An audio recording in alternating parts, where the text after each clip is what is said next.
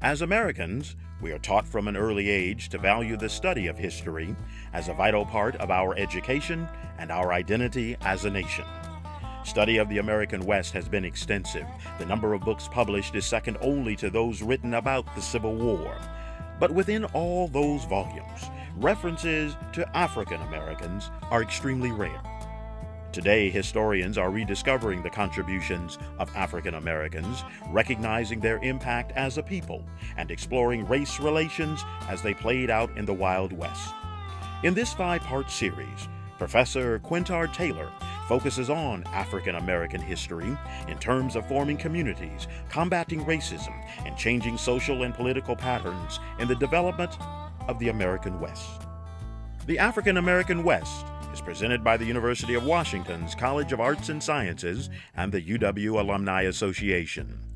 Major funding for this program was provided by Macy's, continuing its long term commitment to promoting black history by making this video series available to secondary schools throughout Washington state. Additional funding was provided by the University Bookstore and UW Medicine. This lecture will explore the urban West, which was home to the vast majority of blacks in Colorado, California, Utah, Montana, Oregon, and Washington. The campaigns they waged and the troubles they endured helped forge the contemporary African American urban enclaves in all of the major cities of the West. Welcome to the third lecture in this wonderful series, The African American West, 1528 to 2000. I'm Rusty Barceló, Vice President and Vice Provost for Minority Affairs and Diversity at the University of Washington. As many of you know, this series is a story about collaboration. You know, it's because of the work of many individuals and organizations throughout the years that diversity has become a core value here at the University of Washington. Some of that work has taken place right here on campus with its rich leg legacy of student involvement. Students challenged the university to think differently about issues of representation, access, support, and curriculum, and found that their actions were supported also by many faculty and staff and community who joined them in advocating for change. This activism ultimately culminated in the creation of the Office of Minority Affairs. We owe a great deal to those leaders in our past, whether settlers, activists, or allies, in, dri in driving the inclusion of our voices to the larger public debate about diversity and social justice and the role of higher education in the community. I strongly believe then that we must build and support a community of scholars whose work focuses on diversity in all of its dimensions race, ethnicity, class, gender, religion, sexual orientation, nation and nationhood building, disability and age, and so forth. And in all disciplines, and and through it take our university and our scholars' research to national prominence. I'm now pleased to introduce our speaker, to welcome our speaker and introduce him. In this series, we've been thrilled to be able to share in the nationally recognized work of Dr. Quintard Taylor. He has dedicated over 30 years to research and teaching in the field of African American history, specializing in African American history in the American West. Originally from Brownsville, Tennessee, Dr. Taylor received his BA degree from St. Augustine College in Raleigh, North Carolina, and his MA and PhD from the University of Minnesota, which makes him very special because I was also at the University of Minnesota. He is the author of numerous publications, including The Forging of a Black Community, A History of Seattle Central District, 1870 through the Civil Rights Era. Dr. Taylor is a former recipient of a Fulbright Hays Fellowship. His work has received several awards and was used as a basis for the public television series South by Northwest. He is also an associate of the American Historical Association, Western History Association, Urban History Association, and the Black Heritage Society of Washington State. He has served in several university capacities throughout his career, including as chair of the Department of History at the University of Oregon and currently as a Dorothy and Scott Bullitt Professor of American History at the University of Washington. His national and international reputation has attracted many energetic and talented graduate students to the University of Washington, as well as requested his presence in a, he's, he's also has requested his presence in areas throughout the world areas, striving to learn more about building multicultural communities. And he has been a wonderful colleague, and when we call upon him to work with students, he's always there for us, so he's also an important role model. And I might add, students continue to raise important questions about what we're doing on behalf of diversity, and I'm so proud that Quintard Taylor is with us to begin documenting that also for historical reference for the future. So please help me walk, welcome Quintard Taylor, Professor Taylor. Thank you, Thank you. Thank you. Thank you. Uh, I want to thank Rusty for that introduction. Uh, yes, we, we have a lot in common, including the University of Minnesota, although, as she often remarks, she was there much later. I'm older. um, I, I want to thank all of you for coming to this third lecture. You're the tough ones. You're sticking it out here, and I'm, I'm very proud of you. Uh, I, hope, I hope you are learning a great deal. I'm actually enjoying this. I know it's strange uh, sometimes to think that one would enjoy this, but, but I'm having a lot of fun up here, and so I hope you are too. But I hope we're also engaged in a process of, of intellectual growth, especially when it comes to African Americans in the West. I want to come back to Rusty for a minute. Uh, she heads a, a, an amazing program, the Office of uh, Minority Affairs, and she has done a wonderful job, and I want to acknowledge that publicly. It's a difficult job. It's almost an impossible job, and very few have done it well. I, you know, many of you know my affiliation with Sam Kelly, who was the first vice president uh, for diversity years ago. And I think Rusty is doing the kind of job that Sam Kelly did. Sam opened up the doors, and Rusty is making sure that those doors stay open to a whole host of people of color on this campus. And so thank you, Rusty, for, you, for your work. Folks, we want to we want to shift gears. We we talked last time about cowboys. We talked about buffalo soldiers. We talked about homesteaders. I want to shift our focus to a discussion of the urban West tonight, and I want to try to talk about its significance. But I will give you a preview. From now on, from this point on, we're going to focus on urban people because indeed, to a large extent, as you're going to see in this lecture, uh, the experience of urbanites uh, in Seattle, in Los Angeles, and other cities across the West helped to determine and to shape the contemporary communities, uh, contemporary African American communities, and contemporary communities in general in which we all live. When we usually talk about African American history in the West, certainly we do discuss the Buffalo Soldiers, the homesteaders, and the cowboys. And yet, I would argue that that focus ignores the lives of tens of thousands of black Westerners who moved to the cities of the region. They, as much as those homesteaders and cowboys and buffalo soldiers, face a difficult and challenging and often hostile environment, one that one could call, that I certainly call, the frontier. But in this case, it was the urban frontier. 19th century black urban communities expanded in large cities and small towns. We don't usually think of the, of the contrast between uh, those cities or among those cities.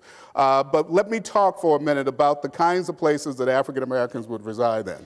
You don't see it reflected on the uh, chart up here because I've listed just the largest cities. But black urbanites made their way, of course, to San Francisco, as one might expect, but they also made their way to Helena, Montana. They resided in Denver, Colorado, but they also resided in Dodge City, Kansas. They came to Portland, but they also came to Pocatello. And indeed, in each of those communities, they attempted to establish or fashion a life of their own, a life where their ideas, their views, their worldview would be respected and promoted. Indeed, I want to share with you something that's not generally well known. African Americans in Colorado, California, Utah, Montana, Oregon, Washington, Arizona, and Nevada were overwhelmingly urban from the very beginning. In other words, when we talk about people in rural areas uh, in the West, we essentially are talking about Texas and to a lesser extent, Kansas and the Indian Territory in Oklahoma. When we talk about the rest of the West, we're almost invariably talking about urbanites. We're talking about people who settled in, in, in cities. These 19th century urbanites were influential far beyond their numbers as the organizations and institutions they created, the values they shared, the goals they sought through politics and civil rights influenced successive generations well into the 20th century. If we look at the Black West today, In other words, if we look at the populations of black Westerners today, we'll see that those populations are the result or the consequences of those migrations to the cities as opposed to those migrations to the rural areas across, uh, across the West. As late as 1910, the combined African American population of the five largest Western cities, and I have them uh, on the chart there San Francisco, Los Angeles, Seattle, Denver, and Portland, total only 18,000. In other words, these are relatively small communities. Uh, here's five points Denver's African American community in 1895. This was slightly more than one fifth, in other words, the 18,000 in all those black cities in the West was slightly more than one fifth the black population of Washington, D.C. at the time, the city with the largest African American community. In other words, there were relatively small black populations in these Western uh, communities. But I would argue that such small numbers did not prevent Western urban blacks from organizing a rich social and cultural life or from summoning, as we'll find out, their collective energies to battle for racial justice, even in this region. Most people don't think of Helena, Montana as having an African American community. And yet, Helena had one of the most vibrant communities in the Pacific Northwest. To put it in perspective, guys, in 1890, in percentage terms, the largest black community in the Pacific Northwest was in Helena, not in Seattle, not in Spokane, not in the, the, various other places. There were, larger, there were larger populations in those other cities, but the largest percentage was in Helena, Montana. And of course, this brings up the fact that we also, and I don't know if we have time to talk about it tonight, we also need to note that black communities also decline. In other words, there are black communities that continue to grow over, over the decades, but there are some black communities that faded from existence, and, and Helena's black community uh, is one of them.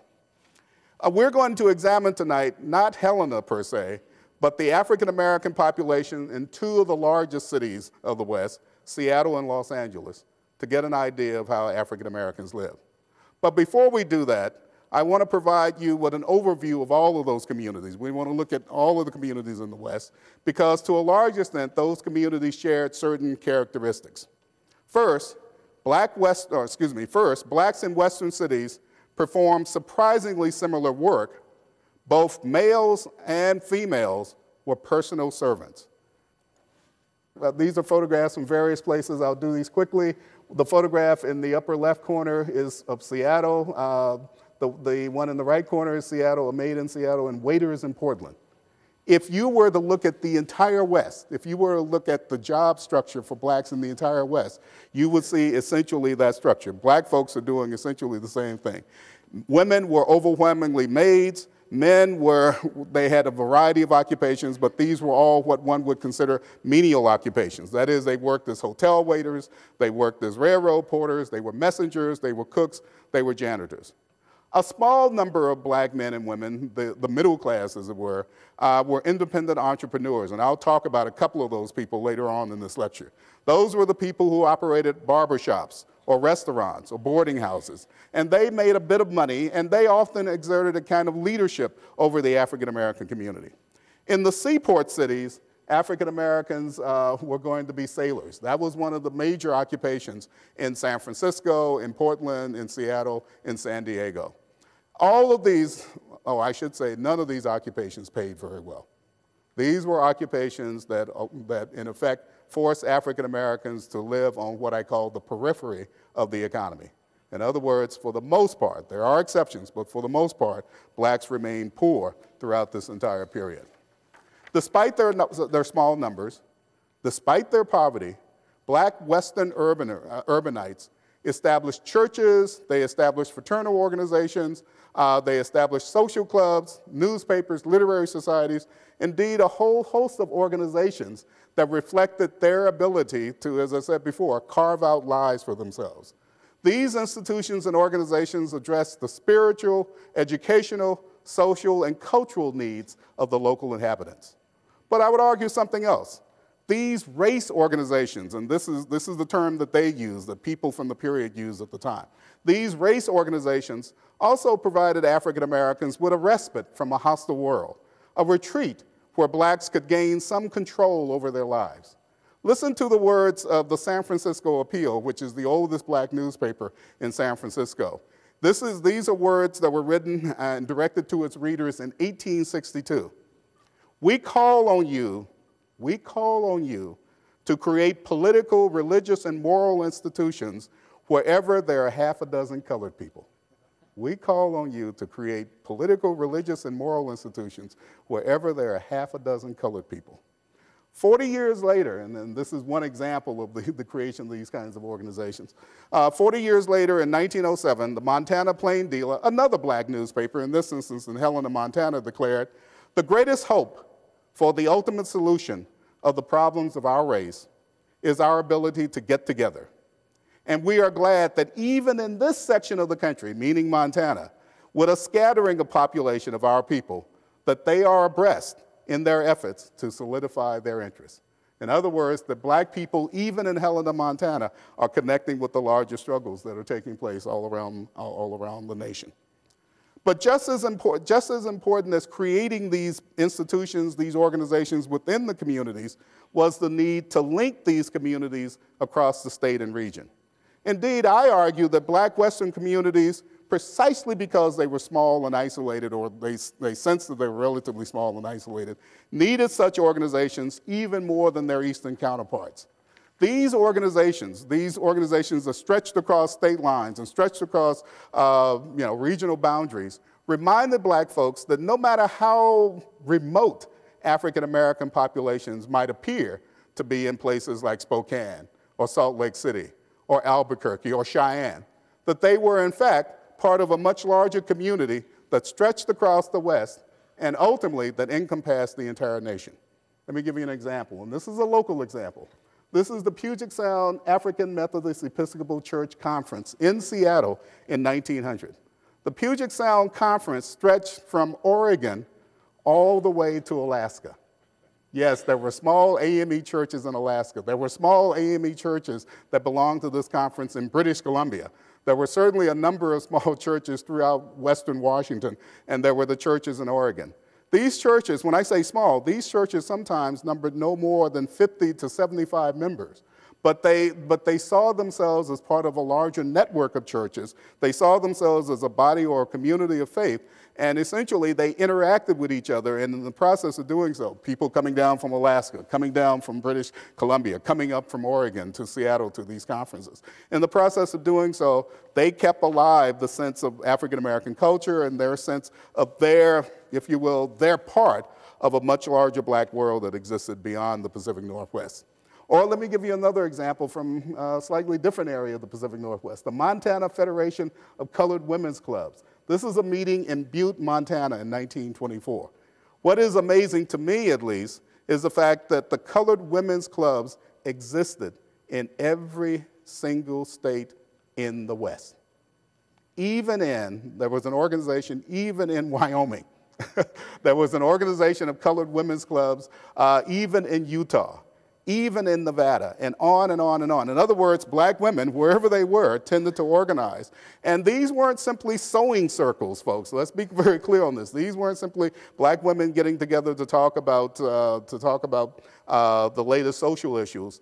The Black Club, the Black Women's Club that formed in Cheyenne, Wyoming in 1896, formed in direct response to a lynching. In other words, these black women organized themselves to deal with the racial oppression that was going on within, within their, back, uh, their backyard. But they also organized themselves to deal with, with uh, other issues as well. Let me take a minute, uh, bear with me for a minute. I want to talk about the Dorcas Charity Club. The Dorcas Charity Club is a club that formed in Seattle in the first decade of the 20th century. It was founded by a, a number of black women, and it was founded for a special need there were two orphans uh, who had essentially been denied entrance into the state orphanage. And the, the, director of the orphanage came to uh, a number of prominent black women in Seattle and said, Can you do something? And these black women responded. They responded by creating the club, by raising money, and eventually placing these orphans in a home. And they were successful at this, and as a result of their success, they began to do this on a continuous basis. In other words, these were black women organizing to meet the needs of the community.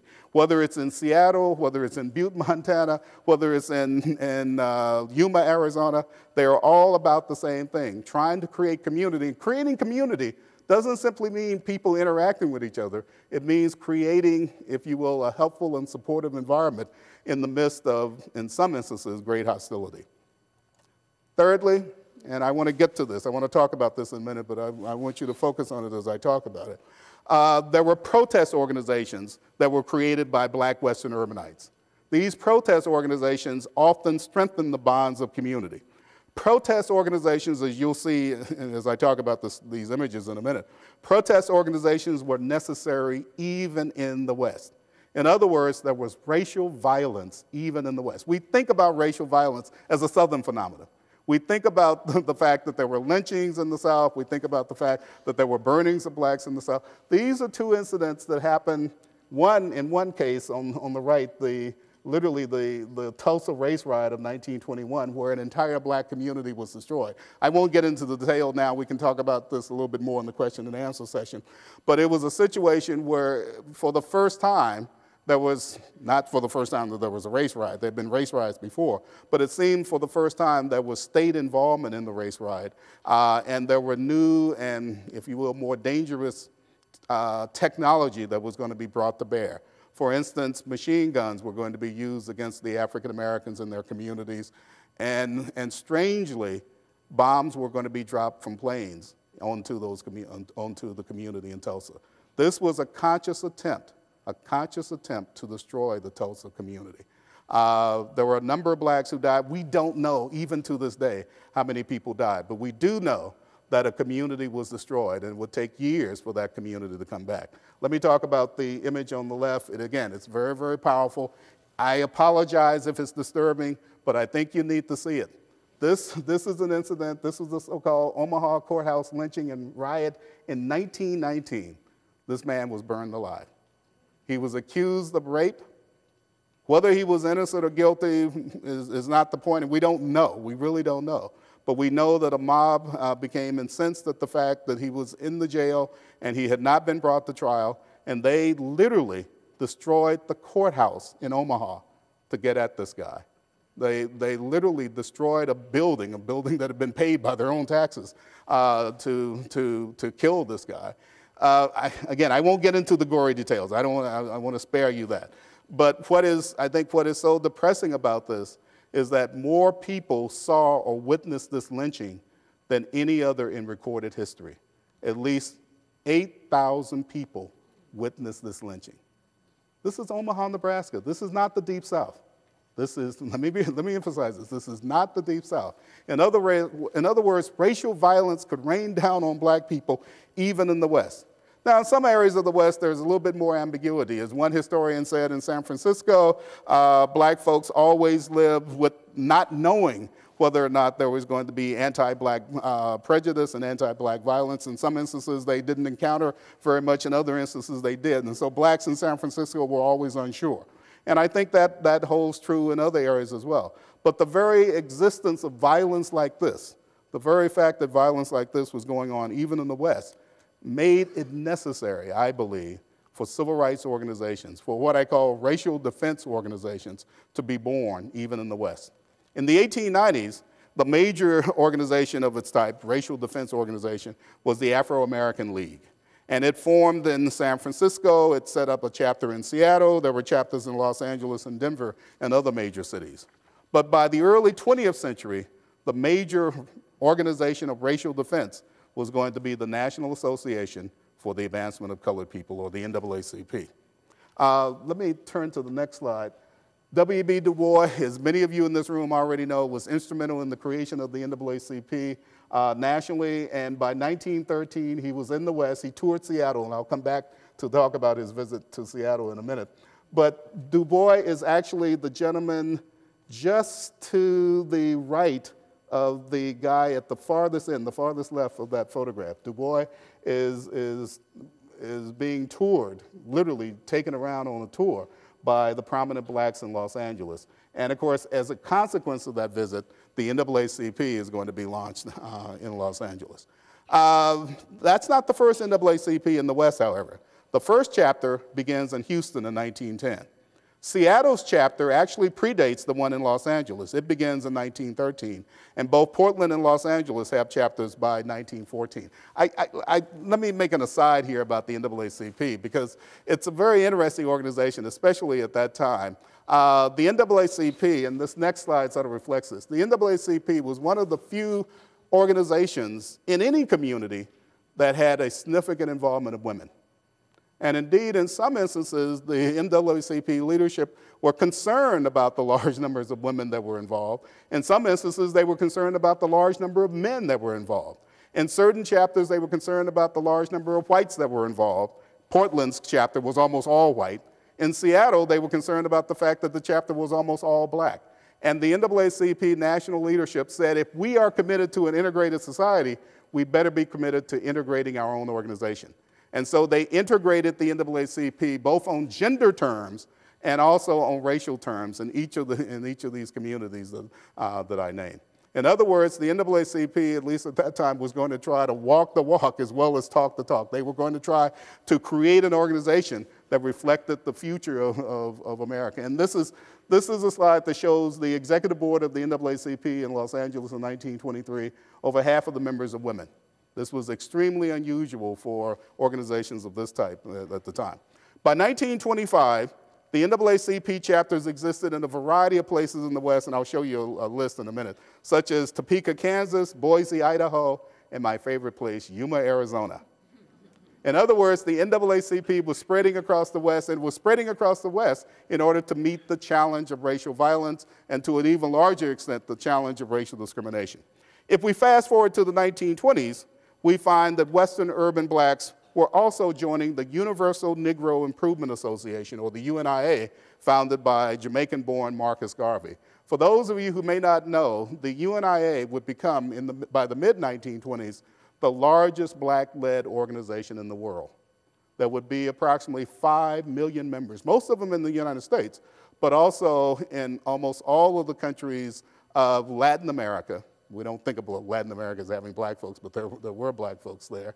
In many of the countries in the Caribbean, and even in a few areas in Africa, even though the UNIA was, uh, was against the law, it was against the law to belong to the organization uh, in those areas. Let me, let me put up this, uh, this shot. Uh, this is Marcus Garvey. You see Marcus Garvey in the limousine, but look at the quotes from the Seattleites. Marcus Garvey came to Seattle at least twice in the early 1920s and uh, he had a marked influence on the small black community here. There were a number of blacks locally who became, who became Garveyites. By 1926, there were divisions or chapters uh, of the NAA, excuse me, of the UNIA in places like Los Angeles and Denver and Dallas and Seattle. But there were also chapters of the UNIA in small communities, places like Colorado Springs, Colorado, Coffeyville, Kansas, Mesa, Arizona, and Fresno, uh, California. In other words, again, the, UNIA existed in places where we don't normally associate uh, with black folks. And maybe that's the whole point that by creating branches of the UNIA in those small towns, those black folks were connecting to a much larger world. That's, that's what I think we ought to emphasize here. That African American communities in the West were small. There's no question about that. Or relative to the Eastern communities, they were, they were small. They were even tiny, if you want to use that expression but they were connected. They were never isolated. In other words, black people, even in Seattle, black people, even in Portland, black people, even in Boise, knew about the civil rights struggles that were going on nationally and, and internationally. For instance, in Seattle, black people uh, came to the AME Church, the first AME Church, which is still in existence today, as many of you know, and they heard W.B. Du Bois lecture. They came to the UNIA Hall in Seattle, and they heard Marcus Garvey lecture. They heard Mary McLeod Bethune. They heard Adam Clayton Powell. In other words, there wasn't a major or significant black political leader who didn't come through Seattle. And I suspect that that happened in most of the other fairly large cities. I won't say it happened in Boise, uh, but it happened in most of the other fairly large black communities across the country. Indeed, Du Bois would come to Seattle a number of times. As a matter of fact, he would like uh, Seattle so much that he would take his third wife from Seattle. Her name was Shirley Graham. Actually, Shirley Graham graduated from Lewis and Clark High School in Spokane, And then she came to Seattle uh, and became active in the community. And Du Bois apparently noticed her on one of the first trips out and continued to notice her. And eventually, eventually they were married. And I would say, and this is not a shameless plug for Shirley Graham Du, du Bois, but she was the most active, the most politically engaged of all of Du Bois' wives. And indeed, she would, toward the end of his life, become almost as prominent as he internationally. As a matter of fact, she died uh, in Beijing, China in 1976 uh, as part of this international effort to focus attention on, on race. So, so what we're talking about here is, is the African American community, even in Seattle, being connected to these larger issues, these larger questions of, of racial oppression and how to deal with it, how to respond to it. Let me, let me shift our focus to, directly to Seattle and Los Angeles. And I do so partly because we're all in Seattle, but and, and, partly because Los Angeles has the largest black urban community. But I also do so because in some ways, these communities are atypical and yet typical. I'm going to talk about examples of their typicality, that is, how they were like other African American communities in the West. But we're also going to talk about the exceptions. We're going to talk about the ways in which these communities were different from those other areas as well. Let me go back to uh, 1913, the 1913 tour of Du Bois. Remember, we said he toured the West Coast. He was in Los Angeles, he was in San Francisco, he started chapters of the NAACP there. He also came to the Pacific Northwest. And he was especially, as you can see from this quote, he was especially, how will I say this, smitten by Seattle. He was impressed by what he saw in, in Seattle in terms of the political question. Um, I won't read the entire quote here, but Look, at the, look toward the end. It says, you know, why are these black folks different out here? And it goes, above all, they are part of the greater group and they know it. Notice those words. Greater, they are part of the greater group and they know. In other words, even though they're a small community in Seattle, they are connected. They sense that they are connected to the larger, the national, and even international African American community. But he also says something else. They want them to come. That is, they want other African Americans to come and define freedom as they have. They want other African Americans to come to Seattle and find freedom as they have. We want to interrogate that notion of freedom for a minute. How accurate was it? Was, the, was Seattle the promised land? And I'm not going to answer that question, but I'm going to let you hear the information that we present, and you'll have to make a determination in your own mind as to whether or not Seattle would become that promised land uh, and whether it represented a really different uh, course of history for African Americans. But let's talk about that history. Um, let me put this chart up. This is the growth of Seattle's black population. I want you to watch this as I work my way through the early years of Seattle's black community. And I do so with some trepidation because Esther Hall Mumford is sitting somewhere in the audience and she is the expert on this period. And, and so I may defer to her on all the questions about, about this period. But let me, let me begin. Seattle's 19th century black population grew from a single resident, Manuel Lopes, the first barber, and notice I said the first barber, not the first black barber, who arrived in Seattle in 1858. In other words, when he arrived, he was the only barber in, in town. By 1900, there were 406 African Americans uh, in the city. By that time, these black pioneers had established or founded the institutions, many of which would continue to function in the city right to this day. For example, Jones Street AME Church is now the first AME church. Jones Street was founded in 1886. It was founded before Washington became a state. Mount Zion Baptist Church was founded in 1894. And Mount Zion, of course, is still, still mightily in existence. Uh, it is one of the, both of these churches are some of the, two of the leading churches in the community. African Americans also created businesses and civil rights organizations in Seattle. They laid the foundation for community institutions which would shape Seattle right to this day. Yet these newcomers entered a rapidly growing city. And I think we need to keep this in mind because when we talk about Seattle, we have to talk about a city that was changing dramatically from, let's say, 1865 to 1885 to 1905. For example, to give you the, the sense of the population, Seattle had only 3,000 residents in 1880. Seattle had only 3,000 residents in 1880. By 1910, 30 years later, not a very long time in terms of the history of a city, by 1910, it had almost a quarter of a million people. In other words, people were rushing in, people were coming in. And I would suggest as they came in, some of the frontier attitudes on race were going to be challenged. In other words, there were racial restrictions that were increasingly going to be set up. But we'll get, we'll get into that in a minute. For one brief moment, though, for one brief moment, it seemed the blacks had found a political promised land. Let me give you some examples. In the 1860s and 1870s, and even into the 1880s, blacks encountered very, very few restrictions when they came to Seattle. Black men had voted in this city since 1865 without restraint. And folks, it's very difficult to say that. I mean, there are only a handful of places in all of North America where black men were voting in 1865 without restraint. Black women gained the right to vote in 1883. It was taken away a little bit later on by, because it was taken away uh, from all women uh, by a Supreme Court decision. But nonetheless, suffrage rights were going to be far more advanced for women in the West, and particularly in Washington than elsewhere in the country. Unlike the South, African American men, women, and children could sit on juries. That sounds like a small point, but it was a huge point. It was a huge consideration for many of those people who made their way out.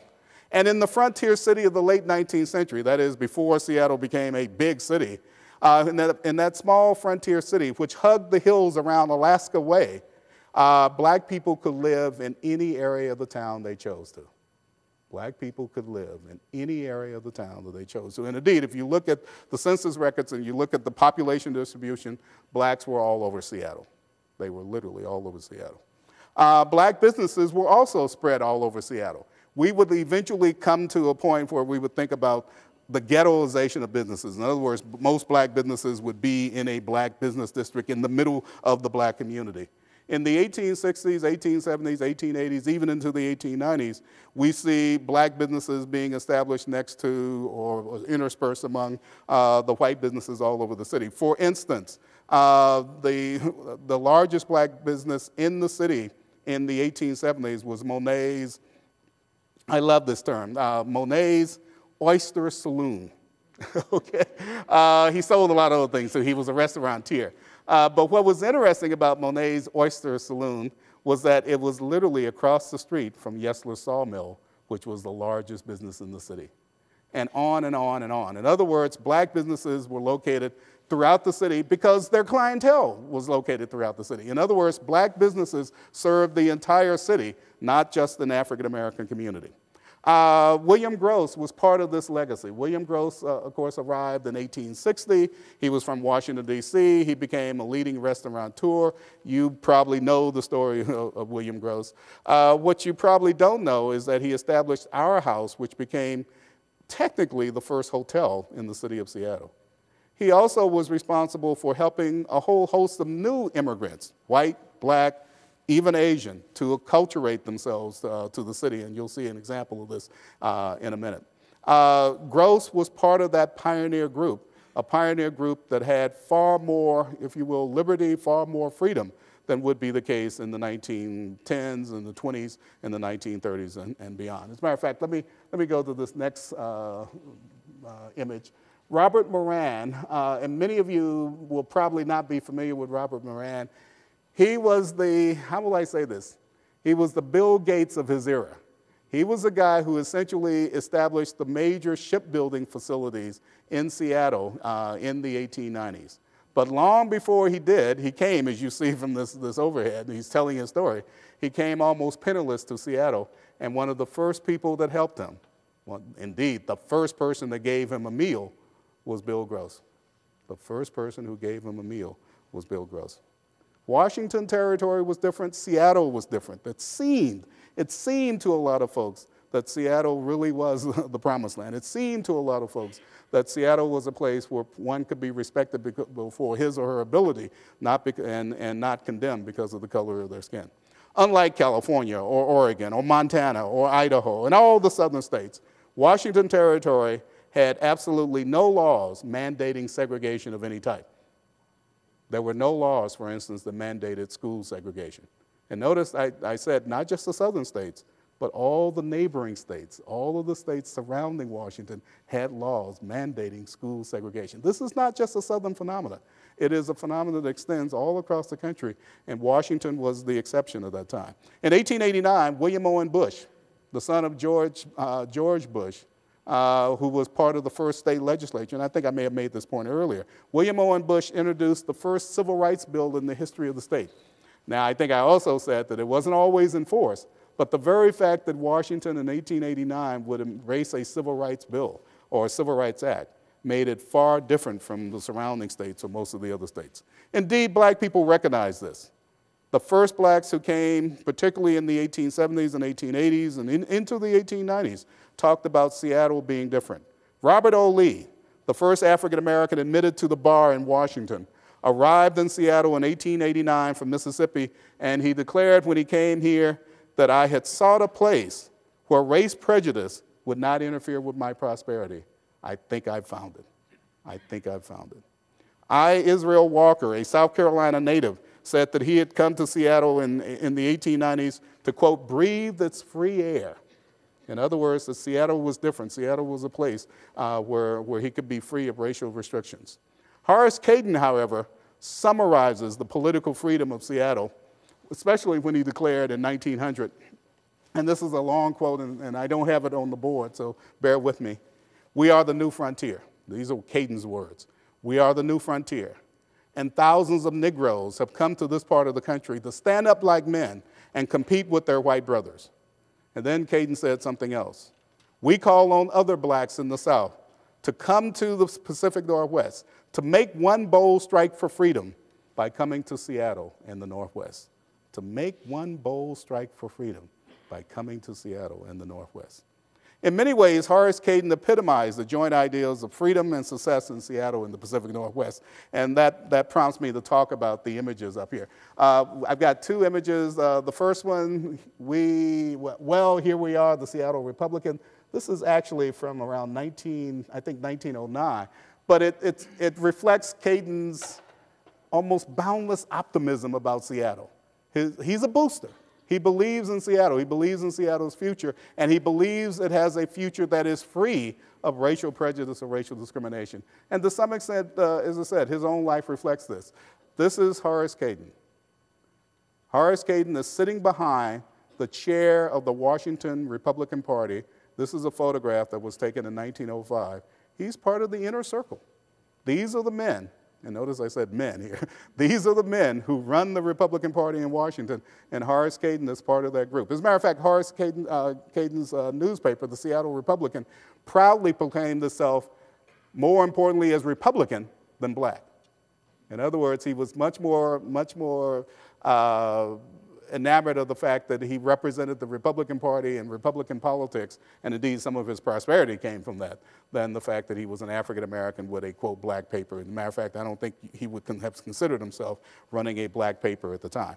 Let me give you a bit of background on, on the Caytons because they are a remarkable family.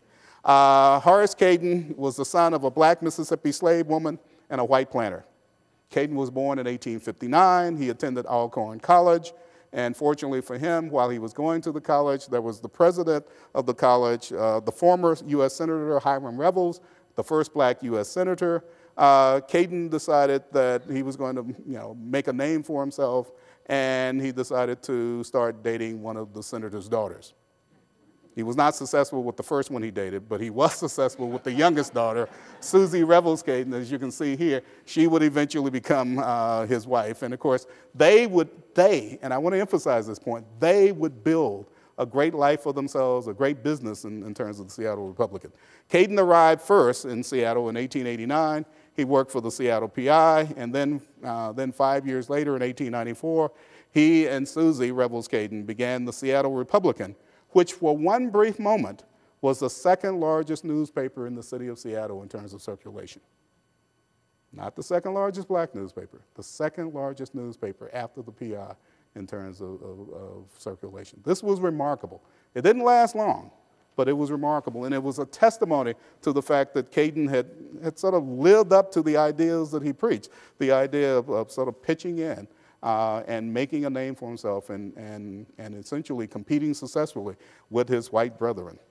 By 1900, Horace and Susie Cayton had become the wealthiest, most prominent black couple in the Pacific Northwest. They could dine with the governor if they wanted to. They bought a house on Capitol Hill. You see only the porch here, but they bought a house on Capitol Hill by dint of their hard work and determination. From 1890 to 1910, the Caytons believed that race relations were improving in Seattle and the nation itself. Unfortunately, a reversal of fortune happened in 1910. Uh, essentially, Horace Cayton, who was always a Mississippian, he always remembered his Mississippi past. Horace Cayton got news that a black man was lynched near his hometown. And as a result, uh, he was incensed at this, and he ran a front page story of this lynching. This was something the Seattle Republican had never done before. They had always kept so called racial news in the in insides of the paper uh, and political news on the front page. When Cayton ran this ad, the subscription rates dropped off dramatically. And eventually, the Caytons lost their home on Capitol Hill. They had to move into uh, a rooming house that they own. Uh, Susie Revels Cayton eventually had to go to work. And this woman, who was the daughter of a U.S. Senator, the daughter of a U.S. Senator, or former U.S. Senator, the, the daughter of a college president, a woman who had a college degree herself, this woman could find work in Seattle only as a maid. She did day work in Seattle because no one would hire her uh, to do anything else at that time because, because of her color. By 1914, Horace Cayton Sr. Had, had joined the NAACP.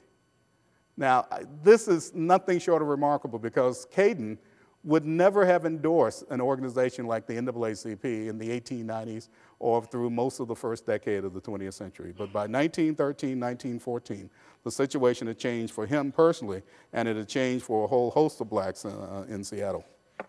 If Seattle's social and political climate seemed supportive of blacks, comparatively speaking, and notice I always say comparatively speaking, through 1910, the economic climate was never very supportive. Indeed, Mattie Vineyard Harris, and I want to put her, her statement on, on the board here. Mattie Vineyard Harris, uh, I think, spoke a truism about Seattle, uh, a truism that, hold, uh, that held for a very long time, and some argue that, that holds right to this day. You know, in the early history of Seattle, there wasn't an awful lot of prejudice, but there wasn't an awful lot of opportunities either. In other words, that's the crux that, that African Americans, I've said this before, African Americans remained on the periphery of the economy even if they had, if you will, uh, social cachet, even if they had the opportunity to, uh, to interact socially and politically uh, with, uh, with non-blacks. In short, black women and black men found it difficult to obtain jobs other than as janitors, maids, waiters, and porters. We've already talked about Susie Revels Cayton. I think part of the reason, I think part of the reason for this was the stereotyping that had gone on throughout the country a stereotyping that goes all the way back to the Civil War. Many upper class whites and even many middle class whites in Seattle and elsewhere believed that African Americans were fit only for menial jobs, so they were fit only for domestic servants. And, and indeed, uh, many of them thought that they were providing a, or, or giving blacks, or providing a favor to blacks by hiring them in these capacities, because otherwise blacks would not have any work at all.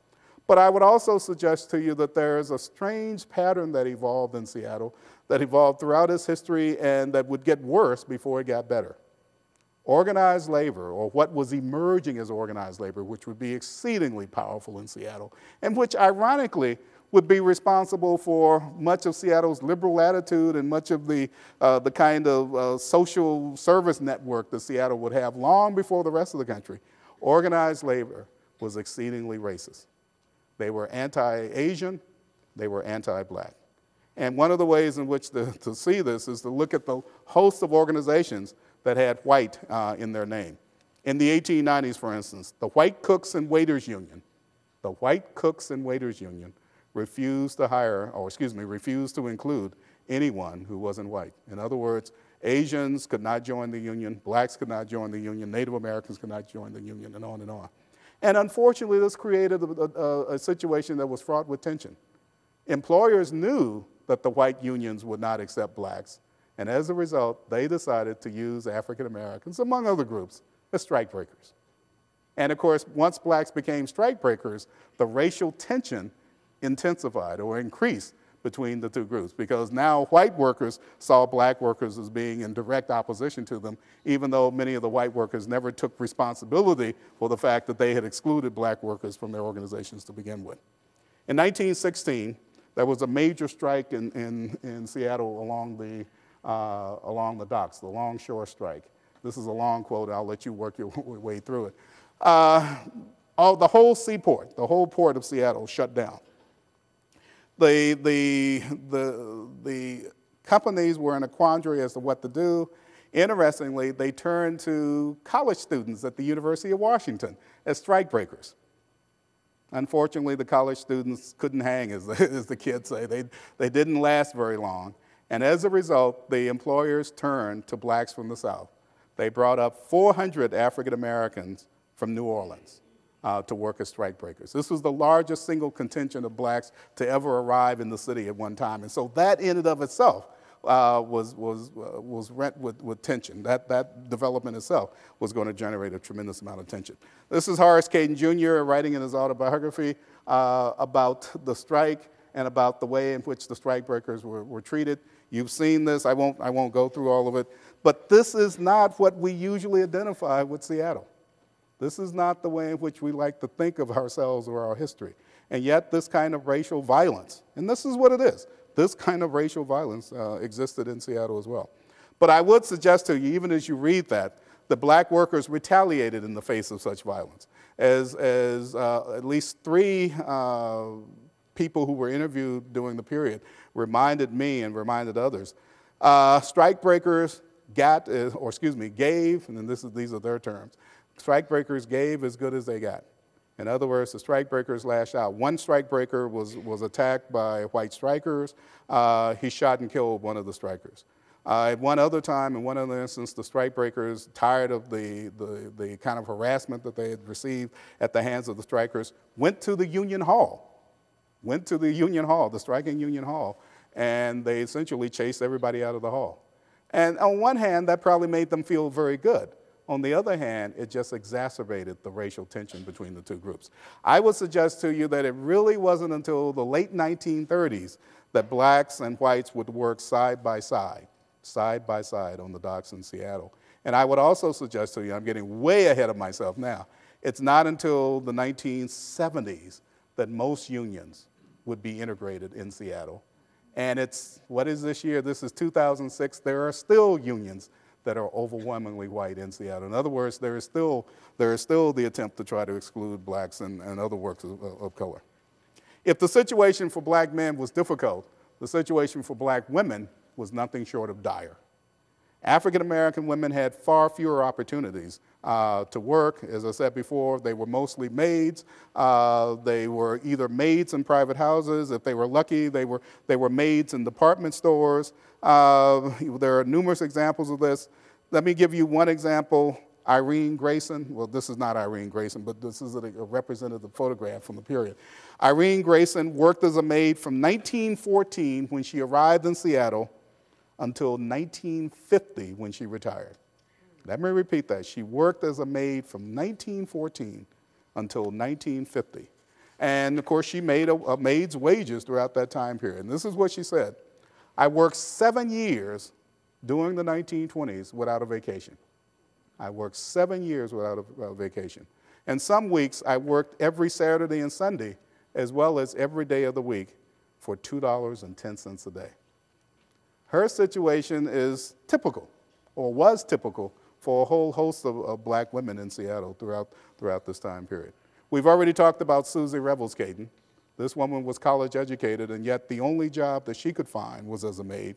Let's talk about her daughter. Her daughter, Madge, went to the University of Washington. As a matter of fact, graduated from the University of Washington in 1924 with a degree in international business. What would a degree in international business do for someone now? you know, that would be cutting edge. That person with that kind of degree would have his or her uh, uh, future, uh, if you will, uh, sealed in the sense that they would probably be very, very prosperous. Unfortunately, despite the degree in international business from the University of Washington, Madge Cayton could not find a job in the city except as a maid.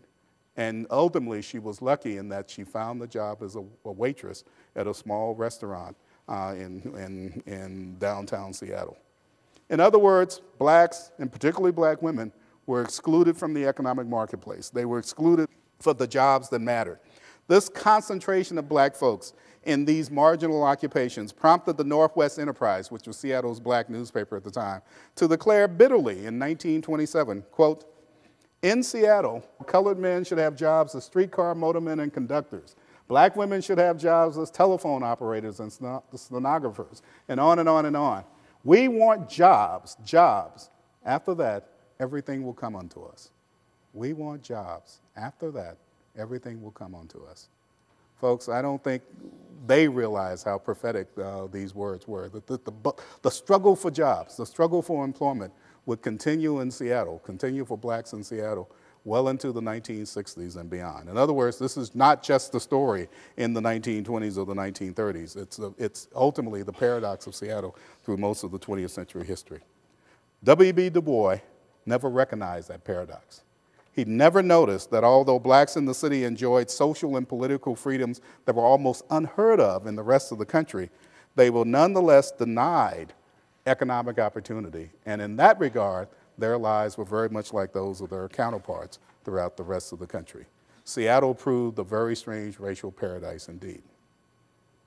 Despite, or perhaps because, of the harsh economic conditions, Seattle's black population decided to, if you will, entertain itself. Maybe indeed it was engaged in an escapism, but in the process of engaging in this escapism through entertainment, they were going to create a musical scene that was unique on the West Coast. And remember what I said earlier, that in many respects, Seattle's situation was very much like that uh, for blacks in other areas of the West and other areas of the country. But in one very important respect, Seattle's jazz scene, Seattle would be different. Seattle would be almost unique. Um, Seattle's African American population in 1920 was obviously small. We've talked about this, less than 3,000 people. Moreover, Seattle was remote, if we can say this. Seattle was remote from the cities where jazz was becoming famous, places like New Orleans and Kansas City and Chicago, and of course, New York City. Yet this tiny community became part of a remarkably vibrant jazz scene that would last over three decades uh, in the 1920s, 30s, and into the 1940s. Here, literally hundreds of musicians, famous and not so famous, famous and barely known, came and went or stayed and influenced younger musicians, both native and migrant. Less than seven miles from where we stand right now uh, stood the great Black and Tan Club. Uh, this is at the, uh, help me out, I think this is at the corner of 12th and Jackson. You guys, probably, everybody in this room has probably passed 12th and Jackson you probably passed the Black and Tan. The Black and Tan was a remarkable club. I don't have time to get into it in a lot of detail here, but it was a remarkable club that hosted all of the greats, uh, local and national. For instance, in the 1920s, uh, it hosted Oscar Holden and Fats Waller. In the 1930s, Julian Henson and Louis Armstrong. In the 1940s, Al Pierre and Sarah Vaughan. In other words, these are the kinds of people that are, that are playing. But what makes the black and tan so interesting is that it was part of an a, a entertainment district that stretched all the way up Jackson, uh, Jackson Street. There were at one time, um, and I think around 1939, there were over 27 clubs in a seven block radius along Jackson. That was an entertainment district, and it was an entertainment district that was unlike any of the others in, in, in, the country. As Robert Wright said, as he recalled 30 years later, in 1935 and 1936, you could see as many white people on 12th and Jackson as midnight as you saw on 3rd and Union at midday. In other words, Jackson Street was rocking. Jackson Street was the place to be, and it was the place to be because of all these wonderful jazz musicians. Uh, let me go back to the Black and Tan Club. Essentially, I was talking about a black owned establishment, although ironically, it's in the basement of a Japanese uh, uh, store. And I think this is, this is very indicative of, of the way in which we need to talk about the interaction between those two, uh, two, two groups, the blacks and Asians. Indeed, from the 1920s on, black musicians played in numerous instances in venues that were owned or controlled by Chinese Americans. Not so much Japanese. There were a few Japanese uh, American club owners, but mostly Chinese club owners. The China, Chinese Gardens, the China Castle, the Manila Dance Hall, despite this name was actually Chinese owned, and the Hong Kong Chinese Society Club were all venues for jazz played by black musicians. The Chinese Gardens, owned by Charlie Louis, was home to dozens of black jazz musicians from 1931 until the time it closed in 1946. I don't know of any other place, certainly on the West Coast, and, and I can't imagine anywhere else in the country where we had that kind of phenomenon, where there were, there were black musicians who were playing to white audiences in clubs that were owned by the Chinese. Uh, saxophonist Marshall Royal recalled, these were a different type of people in Seattle. He's talking about Seattle in the 1920s, uh, in 1930s. These were a different type of people in Seattle. They were nice, they were cordial. I'm not just speaking of the black people, I'm talking about the Chinese guys. They were our buddies. I'm talking about the Chinese guys. They were our buddies. The connections with Asian American club owners in Seattle brought international opportunities as well. By the 1930s, musicians from black Seattle, uh, those who had worked at the Black and Tan Club or the Chinese Gardens, began to play in Shanghai in ballrooms such as Casanova or St. Anne's Dance Hall. And I want to bring up, well, this is Tokawa uh, Hotel. This is where there, were, there was a club in the basement of this building, but more importantly, this is a building where a lot of black musicians stayed. They, when they were in Seattle, those who traveled, those who toured, they stayed in this building. And those who, some of them who lived in Seattle, stayed in this building as well. Uh, but I want to get to the next slide because it's nothing short of remarkable. Earl Whaley is not from Seattle, and his band wasn't headquartered in Seattle, but he spent a lot of time here. But you see this slide, he's not here in Seattle, he's in Shanghai, China in 19, uh, 1937. Unfortunately for him, he's in Shanghai at the time the Japanese invade. and as a result, his whole band is going to literally be put into Japanese concentration camps. And Whaley's, um, all of the fingers of both of his hands are going to be broken. Uh, other band members will die. Only a few of the band members will actually survive and come back to the United States. But the very, the, their very experience, their very story suggests that there was, there was a remarkable situation for jazz musicians on the West Coast and particularly in Seattle. We can talk about Louis Armstrong and where he toured. He never toured Shanghai. He never toured Hong Kong. He never toured Manila, as did black musicians uh, from Seattle uh, at that time. Indeed, Jackson Street had a remarkable run. For 30 years, it was the capital of jazz in the Pacific Northwest, and I would argue that it rivaled much larger Los Angeles as the capital of jazz throughout the entire West. The interaction between black jazz musicians and the Asian club owners speaks to the larger question of interaction between the two groups, that is, between African Americans and Asian Americans. As I said before, Jackson Street was a shared public space for a variety of groups of color, and this was extremely rare, exceedingly rare in the West, and unheard of, literally unheard of anywhere else in the country. Japanese, Chinese, Filipino, and black all occupied that, that public space along Jackson. It was one of the few places in pre World War II urban America where a black barber shop stood next to a Japanese grocery, which in turn bordered a Filipino social club. Shared space, however, did not automatically translate into shared experiences. First, there was the language and cultural barriers, and these barriers separated the groups from each other as much as they separated the Asian groups from, uh, from the African Americans. Moreover, we need to recall that there were class barriers as well. The Japanese tended to be much better educated and far wealthier, relatively speaking, uh, than their other uh, Asian groups, than their Asian counterparts. And certainly they were much better off economically than African Americans.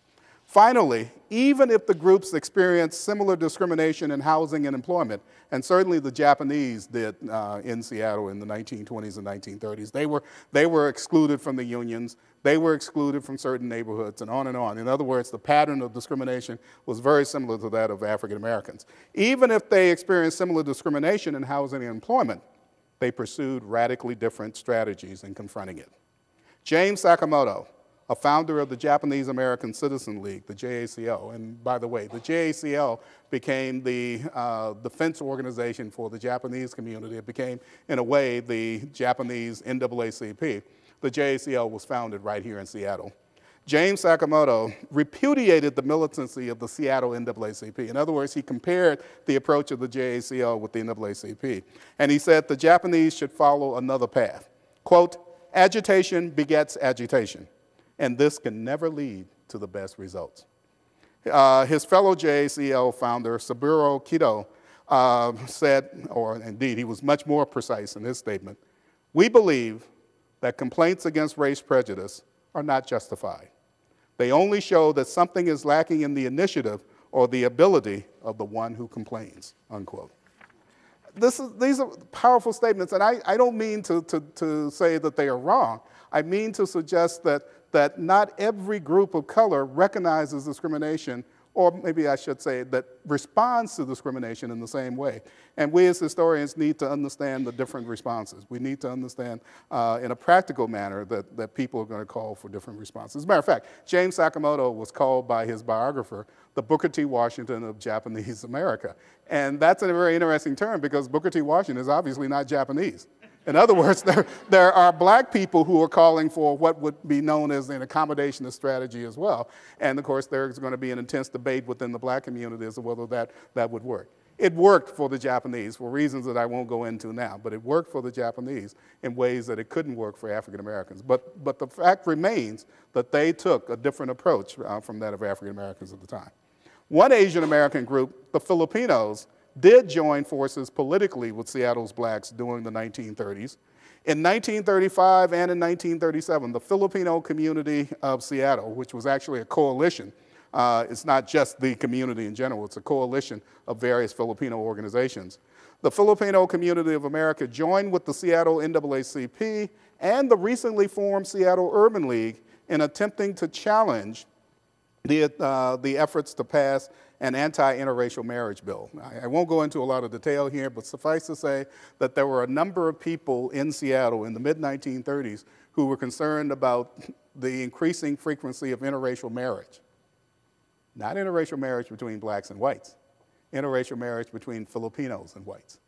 And as a consequence, uh, there was legislation that was introduced into, uh, into the state legislature in Olympia to try to block such marriages. The legislation was, was crafted and promoted by none other than Warren Magnuson, the, the future U.S. Senator. Uh, and of course, we all know that Magnuson later on would become a champion of civil rights. He would defend the very people that he's attacking at this point. But in 1935, Warren Magnuson was on the other side of this particular issue because he was concerned about the prospect of interracial marriage between Filipinos uh, and European Americans, particularly European American women.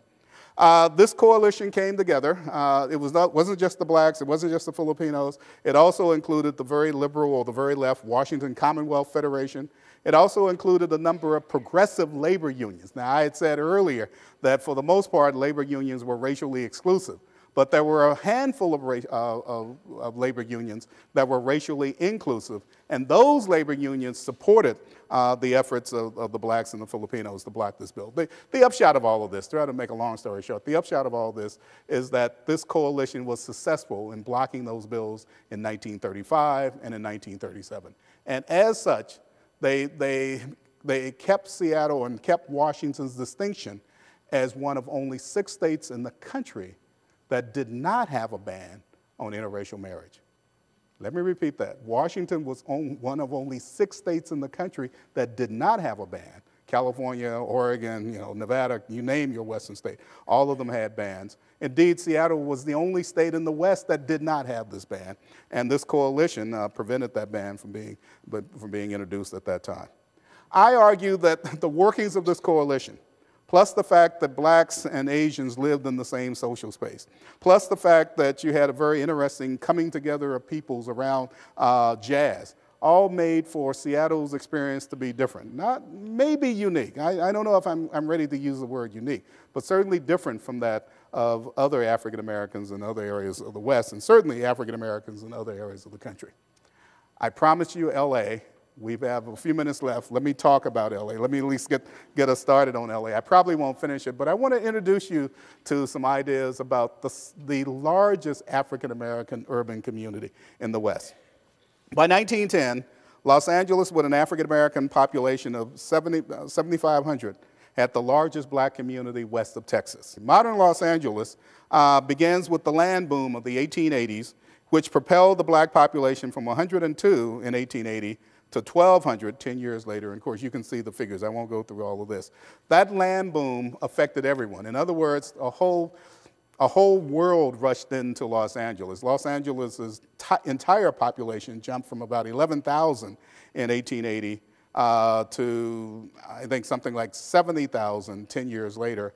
And between 1880 and 1920, I want you to, to, mark these figures, between 1880 and 1920, Los Angeles population went from 11,000 to 1.2 million. From 11,000 to 1.2 million. And all, as all these people come in, they're buying land. And of course, the people who are lucky enough to be in LA before this rush are going to be very, very successful. And one of those people was none other than Bridget Biddy Mason. We talked about her earlier as that slave who gained her freedom in 1856 in Los Angeles. In 1866, she homesteaded land. There was urban homesteading as well. She homesteaded land in Los Angeles. And by 1872, she had become a pillar of the community. She was probably the wealthiest black woman in Los Angeles at, that time. And she didn't have to do anything. She just had to hold on to the land, which became more and more valuable. As a matter of fact, her land was on the outskirts of Los Angeles when she homesteaded in 1866. By 1890, it was on the, it was on the outskirts of downtown Los Angeles. In other words, and of course, it had become much, much more valuable. And, and, to give you an idea of the place of Biddy Mason's old homestead, I don't know how many of you are familiar with Los Angeles, but if you go there today and you go to the Ronald Reagan building, which is, which is in downtown Los Angeles, and you go directly across the street, you'll be in a, in a complex, in a shopping complex, which is where Biddy Mason's home, homestead once stood. In other words, this is very much part of downtown Los Angeles. One wonders what would have happened if the family had held on uh, up until this point, but they didn't. Uh, Mason established the first AME or the first African Methodist Episcopal Church. When I say first, that's the name of the church, First AME Church, as you can see here. She founded it in 1872, and she paid all of the expenses, including the expense for the minister, for over 20 years in order to, quote, hold it for my people, uh, her word, although she continued to go to a predominantly white church.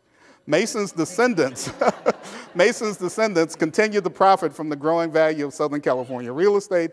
Her son-in-law, Charles Owens, before his death in 1882, purchased valuable parcels around the, the homestead, and, and, and his grandson continued to do, uh, to do this, continued to build around that. And in, in 1905, he constructed a $250,000 building. Now, these are 1905 dollars. A $250,000 six-story story building on the edge of downtown Los Angeles on the original site. Let me see if we have this. Yeah, this is part of the, the Mason Owens business block. So the Mason Owens family became very, very prosperous. Unfortunately, that prosperity didn't extend to other Angelenos. Most of the newcomers who came to Los Angeles, especially the black newcomers, found employment as construction and repair workers for the Southern Pacific Railroad and the Santa Fe Railroad, or they worked as cooks and porters and waiters and maids, the same old story. During the first decade of the 20th century, the black population of Los Angeles jumped to about 7,500, and it surpassed California's, excuse me, the Bay Area's population as the, and became the center of black population, uh, black, uh, the black uh, community in California. Early 20th century black Angelenos organized institutions and organizations, and in the interest of brevity, I'm not going to list all of them. The most interesting of these organizations, though, I, I do want to talk about for a minute, it's the Los Angeles Forum. Now, every time I say Los Angeles Forum, everybody thinks about where the Lakers used to play. This is not what I'm talking about. The Los Angeles Forum was an organization crafted by African Americans about the turn of the century, that is, the beginning of the 20th century, and it was essentially, as the name suggests, a community forum. It was a place where people could come together to discuss issues affecting African America, especially uh, affecting the community. And the forum continued to operate in that fashion. Even though it started in a very small black community, it continued to operate as the community grew right up until 1942. That is, from 1900 until 1942, this was the premier political organization, not the NAACP. This was the premier political organization in Los Angeles. It was also the organization that started a whole host of scholarships or provided a whole host of scholarships for African American women and men uh, who were growing up in Los Angeles. One woman who received the scholarship, Dr. Ruth Temple, became in 1910 the first female black physician on the West Coast. And she was, her medical school fees were paid by the forum. In other words, the forum was concerned with education. They were also concerned with community uplift. They were also concerned with dealing with the various problems uh, that were facing the African American community. I, I want to name one other organization, the Sojourner Truth Industrial Club, which was established by black women in 1906 And it was established to, quote, establish a Christian dwelling that would be a safe refuge, unquote, for African American women, single black women who were coming into the city. In other words, as black women came without husbands or without uh, accompanying families, they could be exploited. And the, the, this Los Angeles club, the Sojourner Truth Industrial Club, uh, was there to try to take care of them as best they could. But in the process, the club organized in 1907 one of the first daycare facilities in, in Los Angeles, and we believe one of the first daycare facilities in the entire country. Um, Los Angeles would continue to grow. Let me give you some examples. Oh, this is the, the New Age. This is one of the newspapers in black Los Angeles, but this is the newspaper of note. This is the California Eagle. It was founded by a man, uh, James Nehemiah, in, in 1879. It continued to publish until 1966. And for the most, most of the years, it was edited by Charlotta Bass. Charlotta Bass is a remarkable woman. Again, we don't have time to talk about her. Uh, she went from being a conservative Republican to a member of the Progressive Party in 1952, and not just a member of the Progressive Party, she was actually the vice presidential candidate on the Progressive Party ticket in 1952. Thus, she has the distinction of being the first black woman nominated for a, uh, to a presidential party ticket in the history of the country. We think about Shirley Chisholm coming along a little bit later, but Charlotta Bass was much, much, much earlier. Black Los Angeles by the 1920s would not only continue to grow, it would explode. And as it exploded, it became, as one, one wag said, it became the Harlem of the West. It became literally the Harlem of the West. Black Los Angeles had Central Avenue, and Central Avenue uh, had a whole host of businesses, far more African American businesses than anywhere else in the West. On the avenue could be found black-owned theaters, saving and loans associations, saving and loan associations, automobile dealerships, and of course, the Dunbar Hotel. The Dunbar Hotel was the largest, the most opulent black-owned hotel west of Chicago. It was made famous in 1928 when the NAACP met in Los Angeles for the first time west of the Mississippi River. The, the, National Convention was west of the Mississippi River. They met precisely because they wanted to be in the Dunbar. And the Dunbar became the place for movie stars and celebrities, black movie stars and celebrities for, for a long, long time. Let me give you some other examples here. The Golden State Mutual Life Insurance Company, founded in 1924. Uh, Golden State is still around. It's not on Central Avenue anymore, but it's still around. It is the second largest black insurance company in the country today. In other words, it, it grew, it became prosperous, it is still prosperous in, in Los Angeles. Los Angeles uh, had in the 1920s along Central Avenue what I call a brief literary renaissance. I've tried to argue against the hordes and hordes of, of intellectuals from the East who argue that there was only one renaissance and it was in Harlem. I've tried to argue, and I haven't been successful so far. Maybe you guys can carry the torch for me. Uh, I've tried to argue that before Langston Hughes, before uh, uh, Arnold Bontemps, and before Wallace Thurman ever made it to Harlem, they were in Los Angeles and they were writing. And they were attempting to create a literary renaissance in Los Angeles with magazines, with books. They met at the public library just off Central Avenue. In other words, everything that they would do in Harlem after 1925, they did in Los Angeles in 1924, 1923, 1924, 1925. Wallace Thurman, for instance, was born in Salt Lake City, so he was clearly a Westerner. Arnold Bontemps uh, was born in Louisiana, but he spent most of his life in Watts.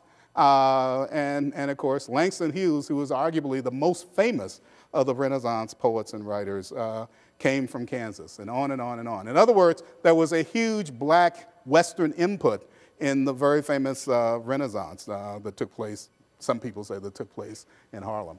Sebastian's Cotton Club, I use this, I'm throwing this image up quickly. I use this to show that there were a host of black nightclubs all along uh, Central Avenue and elsewhere. Sebastian's was actually not on Central Avenue, but it was close enough to be considered part of, uh, part of this array of nightclubs. Now, I will admit, these clubs were larger, and more elaborate than the clubs in Seattle, but I don't know if they had any better jazz. I don't know. I don't know if the jazz was any better in these clubs than in Seattle. What they did have, unfortunately for Seattle, they did have the Hollywood stars.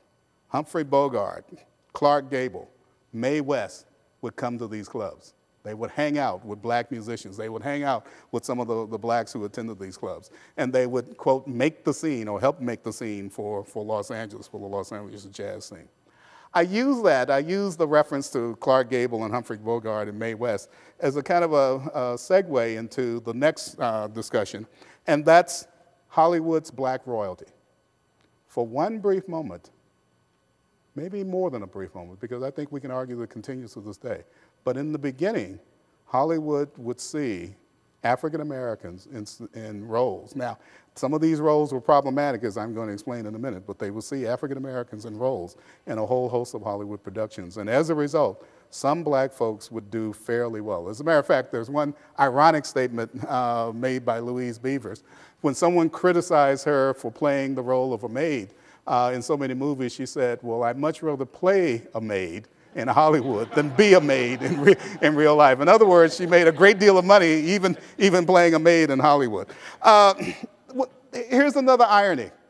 African Americans, at least when the movie industry started and before it was located in Los Angeles, the movie industry sort of relocates or concentrates in Los Angeles in the second decade of the 20th century. But before the industry uh, located in Southern California and Los Angeles in the place we call Hollywood, it was scattered all over the country. And ironically, black people, for the most part, had non stereotypical roles.